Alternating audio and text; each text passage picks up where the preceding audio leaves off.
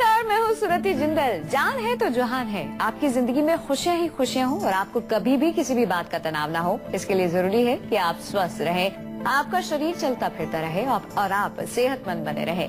इसी उम्मीद के साथ आपके फेवरेट चैनल पर हम रोज लेकर आते हैं आपका फेवरेट हेल्थ शो संजीवनी, ताकि स्वस्थ रहे आप। और हमारे साथ वर्ल्ड फ़ेमस आयुर्वेदाचार्य मौजूद हैं, डॉक्टर प्रताप चौहान। डॉक्टर साहब बहुत बहुत स्वागत है आप थैंक यू वेरी मच आज संजीवनी में हम किसी बीमारी पर नहीं, बल्कि आयुर्वेद की एक ऐसी चिकित्सा पद्धति पर चर्चा करेंगे, जिसके बारे में आप डॉक्टर चौहान से दर्जनों बार सुन चुके हैं जी हाँ आयुर्वेद की ये चिकित्सा पद्धति कई रोगों के लिए किसी संजीवनी से कम नहीं है माना जाता है कि जो भी इस पद्धति से अपना नियमित इलाज कराता है, उसके पास बीमारियाँ फटकती तक नहीं है, और कई बीमारियाँ इस पद्धति की वजह से दूर भी हो जाती हैं। जी हाँ हम बात कर रहे हैं आयुर्वेद की मशहूर चिकित्सा पद्धति, पंचकर्म की। तो आज की संजीवनी आपके लिए बेहद खास है। आज की संजीवनी आप बेहद ध्यान से देखिए ताकि आप पंचकर्म की खासियत को जान सकें और उसका पूरा लाभ उठा सकें। आइए, उससे पहले देखते हैं क्या होता है पंचकर्म।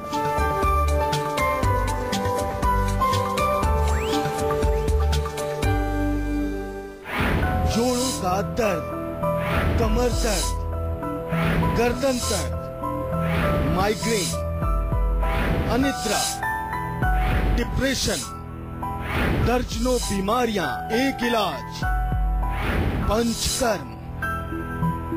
चलिए डॉक्टर साहब से सबसे पहले ये जानते हैं कि आखिरकार पंचकर्म होता क्या है। आयुर्वेद में पंचकर्म को इतनी अहमियत क्यों दी गई है ये भी जानते हैं। डॉक्टर साहब आप हमेशा सलाह देते हैं पंचकर्म करवाइए जैसे कि बीमारी बहुत लंबी हो गई या फिर कुछ बीमारियाँ ऐसी होती हैं जो बाकी अलग तरह के इलाज से नहीं ठीक हो सकती तो आप सलाह देते हैं पंचकर्म कराइए। पहले तो आप ये बताइए पंचकर्म होता क्या है और आयुर्वेद में इस पर इतनी अहमियत क्यों दी गई है? देखिए बहुत अच्छा आज आपने विषय लिया है क्योंकि बहुत बारी हम इस शब्द को प्रयोग करते हैं और काफ़ी सारे लोग पूछते हैं कि क्या होता है पंचकर्म।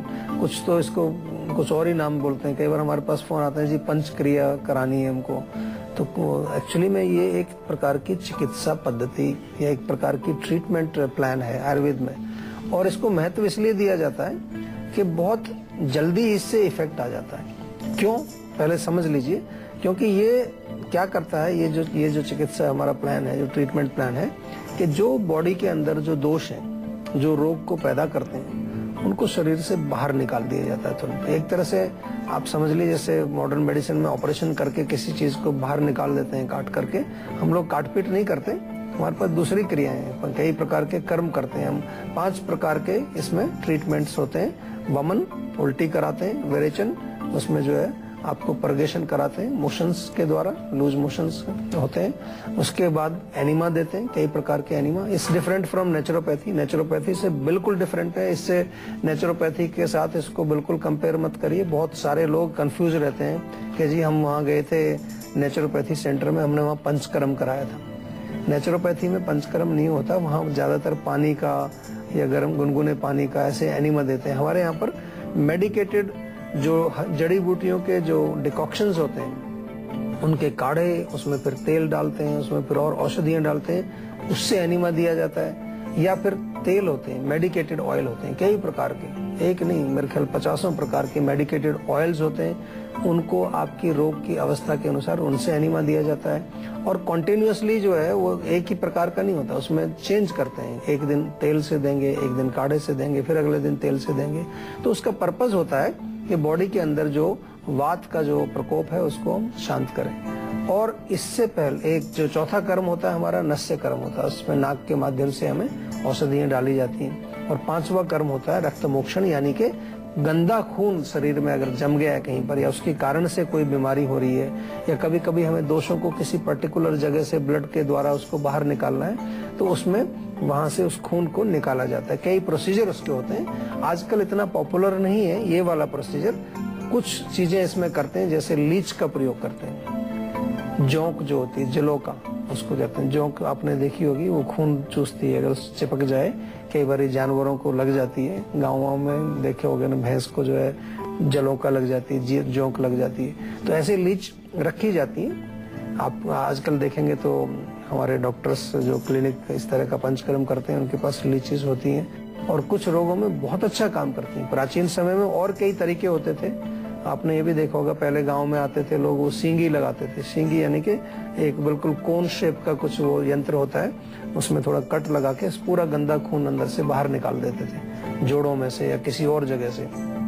तो ये तो ही पाँच क्रिया, पंचकर्म जिसको हम कहते हैं। और इससे पूर्व, जो पूर्व कर्म होते हैं, स्नेहन और स्वेदन स्पेशल टाइप की मालिशेज होती हैं, कई प्रकार के तेल से आपकी मालिश होती है स्वेदन होता है स्टीमिंग होती है, बहुत तरह के प्रोसीजर्स हैं उसमें। टू प्रिपेयर इंटरनल स्नेहन भी होता है, आपको थोड़ा घी पिलाया जाता है मेडिकेटेड घी भी पिलाया जाता है। तो ये तरीका किस लिए करते हैं ये सब पूर्व कर्म करते हैं, ताकि दोष आपके कोष्ठ के अंदर, पेट के अंदर आ जाए, जहाँ से उनको बाहर निकाला जाए। या तो वॉमिटिंग के द्वारा, या तो अर्गेशन के द्वारा या फिर जो है बस्ती के द्वारा। इसी प्रकार से जो सिर में रोग होते हैं नाक में साइनोसाइटिस कान में ये सब इनके लिए नस से दिया जाता है क्योंकि ये नाक हमारा यहाँ का दरवाज़ा है सिर का। यहाँ से उन दोषों को बाहर निकाला जाता है। बहुत ही बढ़िया एक प्राचीन हमारा ये चिकित्सा पद्धति है। दर्शक जुड़ गए हैं नोएडा से अमित जी। स्वागत है आपका अपनी समस्या बताइए। जी मेरी परेशानी है पिछले दो महीने से बहुत ज़्यादा सर्दी जुकाम और सांस लेने में परेशानी हो रही है। मैं एक्सरे के लिए गया था डॉक्टर साहब। जी। तो उन लोगों ने बताया है कि निमोनिया जैसी शिकायत है पैचिस बन गए हैं। अच्छा। अभी खांसी होती है और सफ़ेद कलर का कफ भी आता है उसमें। देखो, सबसे पहले तो जो जो भी डॉक्टर्स ने आपको बताया चेकअप किया है पैचेस बन गए हैं या जो भी है ट्यूबर ट्यूबरक्लोसिस का हमेशा ध्यान रखना चाहिए। भारत में ट्यूबर ट्यूबरक्लोसिस बड़ी जल्दी हो जाती है लोगों को, बहुत ज़्यादा लोगों को टीबी है और आजकल गवर्नमेंट ने भी काफ़ी अभियान चलाया है कि सबसे पहले इस, इसको रूल आउट करना बहुत ज़रूरी है। अगर टीबी आपको है तो टीबी का कोर्स लेना चाहिए। ऐसा हम भी आपको एडवाइस करते हैं क्योंकि टीबी का कोर्स लेने से आपका रोग पूरा जड़ से चला जाता है। जो अगर आपको निमोनिया है तो निमोनिया का कोर्स आपको दिया होगा डॉक्टर ने, और वो अगर ठीक हो चुका है तो अभी जो आफ्टर इफेक्ट्स हैं, आपकी खांसी नहीं जा रही है, आपको सांस लेने में तकलीफ़ है, उसके लिए आयुर्वेद में अच्छी चीज़ें हैं। कोई घबराने वाली बात नहीं, बहुत अच्छे उपचार भी हैं, औषधियाँ भी हैं, और कुछ चीज़ें आप अभी घर पर भी बना सकते हैं। छोटा सा एक अगर काढ़ा भी बना लेंगे, दिन में दो बार आप, तुलसी के पत्ते, ताज़ा अदरक और धनिया, तीन चीज़ें। तुलसी के पत्ते, ताज़ा अदरक और धनिया ये एक कप पानी में डाल करके उबालिए अच्छी तरह से। जब उबल जाए, खूब तीन चार मिनट उबल जाए, उसको छान लीजिए और उसमें थोड़ा शहद मिला करके आप दिन में दो बार पी लीजिए। इसके अलावा आप सौंठ का चूर्ण थोड़ा ले लीजिए। आधा चम्मच सुबह, आधा चम्मच शाम को इसको भी शहद में मिला के आप चाट लेंगे तो उससे आपको काफ़ी राहत मिलेगी सांस में भी और खांसी में भी। और छाती पर जो है, हल्का सा गुनगुना तेल आप सरसों का तेल गर्म करके उससे मसाज करें और छाती को थोड़ा सिकाई भी करें तो उससे भी आपको रिलीफ मिलेगा। ये तो आप शुरू कर सकते हैं आज से बिल्कुल। लेकिन आयुर्वेदिक औषधि आपको चाहिए, दवाइयाँ अगर आपको चाहिए तो उसके लिए फिर आयुर्वेदिक डॉक्टर से, जैसे हम बार बार कहते हैं, आपको हमेशा डॉक्टर से परामर्श के बाद ही आयुर्वेदिक औषधियाँ आपको लेनी चाहिए। अपनी मर्ज़ी से मत लीजिए, बेशक किसी ने आपको कहा है। पंचकर्म क्या होता है? डॉक्टर साहब ने हमें ये तो बता दिया। लेकिन अब सवाल ये उठता है कि किन किन लोगों को पंचकर्म की ज़रूरत होती है? किन किन बीमारी में हम पंचकर्म कराएँ? और साथ ही साथ डॉक्टर साहब यदि हम स्वस्थ हैं तो भी क्या हम पंचकर्म करा सकते हैं? देखिए बिल्कुल करा सकते हैं। गाड़ी जब आपकी ठीक ठाक चल रही है तभी आप सर्विसिंग के लिए ले जाते हैं उसको। जी। तब भी ले जाते हैं और खराब हो जाती है तो तो ले ही जानी पड़ती है गैराज में। तो गैराज में आप दोनों तरह की गाड़ी ले जा सकते हो। जो सही चल रही है उसकी सर्विसिंग कराने के लिए। जो स्वस्थ शरीर है उसको भी साल में एक बार आप जाएँ पंचकर्म के लिए। हमारे यहाँ पर आ जाइए रहने की फैसिलिटीज़ हैं अच्छी, वहाँ आप थोड़ा पंचकर्म कराइए एक वीक दस दिन, पंद्रह दिन, पूरी क्लीनिंग करिए।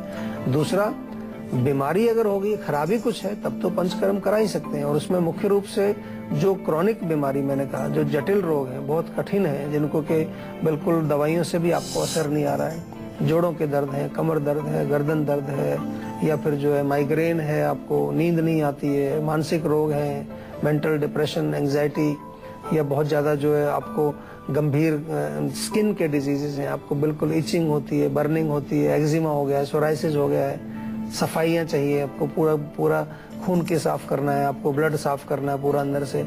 या बॉडी में कहीं ब्लॉकेज हो गया है आपको, किसी तरह का अवरोध हो गया है। तो जहाँ क्लीनिंग की बात हम करते हैं तो वहाँ पंचकर्म बहुत फ़ायदा करता है। तो ऐसे रोगों में आपको पंचकर्म कराना चाहिए और जहाँ तक और और डिजीजेस की बात है कोई भी रोग रोगी है जो जब डॉक्टर से उस परामर्श होता है तो डॉक्टर की समझ में भी आता है कि इसमें पंचकर्म ज़रूरी है या नहीं ज़रूरी कुछ चीज़ें हैं ऐसी पेट के रोग हैं छोटे मोटे आपको हल्का फुल्का कुछ प्रॉब्लम है कोल्ड वगैरह है जुकाम है तो उसमें औषधियाँ भी हम देते हैं। अब सभी लोग पंचकर्म नहीं करा सकते तो ऐसा नहीं कि, कि चिकित्सा केवल पंचकर्म से ही होगी ऐसा नहीं। लखनऊ से अब्दुल जुड़ गए हैं स्वागत है आपका अपना सवाल करें। जी नमस्ते डॉक्टर साहब। जी बोलिए। डॉक्टर साहब मेरी उम्र अभी पच्चीस वर्ष है। जी। और पिछले कई समय से नाइट ब्लाइंडनेस की बीमारी से ग्रस्त हूँ। जी जी। और काफ़ी उपचार कराया पर कोई लाभ नहीं मिल रहा। देखिए थोड़ा विषय आपका गंभीर है डेफिनेटली नाइट ब्लाइंडनेस में जो है हम ज़्यादातर तो पोषण की बात करते हैं न्यूट्रिशन की बात करते हैं। आपकी आँखों को जो है थोड़ा सा जो है आयुर्वेदिक दवाइयाँ इसमें दी जाती हैं। खासतौर पर विटामिन ए का सेवन आप करें मुख्य रूप से तो बहुत फ़ायदा होगा। और आपसे निवेदन मैं करूँगा कि थोड़ा गाजर और पालक, इसका जूस बना करके आप पिए, या इनका जो है सूप बना करके आप पिए, उससे आपको डेफिनेटली फ़र्क पड़ेगा। और कुछ आयुर्वेदिक औषधियाँ इसमें अच्छी होती हैं। आप लखनऊ में रहते हैं, लखनऊ में हमारी जीवा की क्लिनिक भी है तो वहाँ जाकर के पर्सनली भी आप जो है डॉक्टर से संपर्क करके, थोड़ा सा परामर्श करके कुछ दिन आयुर्वेदिक औषधियाँ ज़रूर खाएँ दो तीन महीने। तो उससे आपको कुछ ना कुछ रिजुविनेशन बॉडी में मिलेगा। आँखों की जो है शक्ति रोशनी या और जो आँखों की मांसपेशियाँ हैं उनमें आपको काफ़ी एक विशेष प्रकार की जो मैं कहूँ कि शक्ति उसमें मिलेगी आपको। डॉक्टर साहब पंचकर्म में क्या कोई परहेज भी करना होता है? पंचकर्म जिस टाइम आप करा रहे हैं तो उस टाइम हम आपको एक स्पेशल डाइट देते हैं। बहुत ज़रूरी उसको फॉलो करना पड़ता है। और सबसे ज़रूरी है कि जब पंचकर्म आपका कंप्लीट हो जाए जो भी हमने क्रिया करनी है उसके बाद भी कम से कम पंद्रह दिन। पहले सात दिन तो बहुत ज़रूरी है, लेकिन पंद्रह दिन तक आपको एक स्पेशल डाइट पर रहना पड़ता है। जैसे कि जैसे ही आपको विरेचन हुआ तो विरेचन के एकदम आप जो है भोजन नहीं खा सकते। हैं पहले आपको पतला सा जो है मांड पिलाते हैं, चावल का मांड पिलाते हैं, या पतली सी दाल का पानी पिलाते हैं, या फिर उसके बाद पतली सी खिचड़ी आपको देते हैं। ऐसे दो तीन दिन तक आपको बिल्कुल सॉफ्ट डाइट पर रखा जाता है। फिर कहीं तीसरे, चौथे दिन जाकर के आप कुछ थोड़ी सॉलिड चीज़ें खाना शुरू करते हैं, क्योंकि हमारा शरीर जो है वो पंचकर्म के क्रियाओं के द्वारा जो हमारी ट्रीटमेंट चल रही है तो काफ़ी जो है वो क्लीन हो जाता है, साफ़ हो जाता है। तो जैसे कई बार आपका नया इंजन बांधते हैं, कई बार मैकेनिक तो कहते हैं भाई कुछ दिन तक इस पर डबल सवारी मत बैठाइए। सिंगल ज़्यादा लोड नहीं डालना। तो ऐसे जब हमारी सफ़ाई हो जाती है अंदर से, सब कुछ नया नया सा होता है तो उसमें धीरे धीरे धीरे हमें एक नॉर्मल डाइट पर आपको आना पड़ता है। तो इसलिए परहेज उसमें विशेष रूप से एक स्पेशल डाइट आपको डॉक्टर बताते हैं, वो आपको फॉलो करना पड़ता है। चलिए अब इसी के साथ बात कर लेते हैं आज की संजीवनी की, जिसमें डॉक्टर चौहान हमें बताएँगे पंचकर्म को लेकर क्या है आज की संजीवनी। डॉक्टर साहब तो क्या है आज की संजीवनी? देखिए, आज पंचकर्म की बात कर रहे हैं तो मैं आपको बताता हूँ कि अगर आपको कमर दर्द हो, जिसको कि डिस्क स्लिप भी लोग कह देते हैं या कई बार कहते हैं, भाई, आपकी नस दबी हुई है तो उसके लिए आयुर्वेद में पंचकर्म या पूर्व कर्म का जो हम एक हिस्सा है जिसको कटी बस्ती बोलते हैं। आपकी कमर के ऊपर एक रिंग बनाई जाती है, उसमें गरम गरम मेडिकेटेड ऑयल उसमें भरते हैं, फिर उसको एक पोटली से भी मसाज होती है स्टीम होती है, बहुत अच्छे प्रोसीजर्स से तो आप उससे कराइए। जहाँ तक मानसिक रोगों की बात करें, जिसको कि डिप्रेशन है एंजाइटी है इंसोमनिया है ऐसे ऐसे पेशेंट मैंने देखे हैं, जो कि बिल्कुल उम्मीद छोड़ चुके हैं और वो उनको ज़िंदगी अच्छी नहीं लगती है। सुसाइडल थॉट आ जाते हैं नेगेटिव थिंकिंग होती है, या बिल्कुल पागलपन स्किजोफ्रेनिया जिनको हो जाता है। उसमें हमारे यहाँ शिरोधारा शिरो बस्ती। दो ट्रीटमेंट बहुत अच्छे हैं। एक शिरो पिचू होता है, तेल का पिचू या तेल का एक ऑयल में भर के कॉटन उसके सिर पे रखा जाता है। वो बहुत अच्छा है। जहाँ तक हम बात करें, ये साइनोसाइटिस है, छींकें आती हैं एलर्जी होती है, गला खराब रहता है, या उससे भी ऊपर जाएँ, यहाँ सिर में दर्द होता है माइग्रेन होता है, उसके लिए नस से ट्रीटमेंट बहुत अच्छा काम करती है, बहुत बढ़िया काम करता है। पाँच सात दिन, एक हफ़्ता भी आप से कराएँगे तो आपको बहुत अमेजिंग रिज़ल्ट आपको बहुत अमेजिंग रिज़ल्ट मिलेंगे। आँखों की बात करिए आप, आँखों के जितने भी रोग हैं, चाहे वो गंभीर रोग हैं, जो कि इनक्योरेबल भी कई बार कह दिए जाते हैं कि इसमें अब कुछ नहीं होगा तो रिजुविनेटिव ट्रीटमेंट आँखों के लिए नेत्र बस्ती बहुत अच्छा काम करता है। उसमें मेडिकेटेड घी जो है आँखों के लिए प्रयोग किया जाता है। और इसी प्रकार से त्वचा के रोगों में, जहाँ कहीं स्किन के पुराने रोग हों सोराइसिस है एक्जिमा है, कितने खतरनाक रोग हैं, उसमें विरेचन हमारे यहाँ कराए जाते हैं। जो दमा या अस्थमा टाइप के रोग हैं, जो कफ के रोग हैं, कफ संबंधित रोग हैं, उनमें वमन कराया जाता है। तो बहुत अच्छी अच्छी चिकित्साएँ हैं। आज मैंने पंचकर्म के बारे में थोड़ा बताया। हालाँकि पंचकर्म आप घर पर तो नहीं कर सकते हो, लेकिन थोड़ी जानकारी आपको ज़रूर मिली। कि कौन कौन से रोग में आयुर्वेद में किस किस प्रकार से चिकित्सा पंचकर्म के माध्यम से हम करते हैं।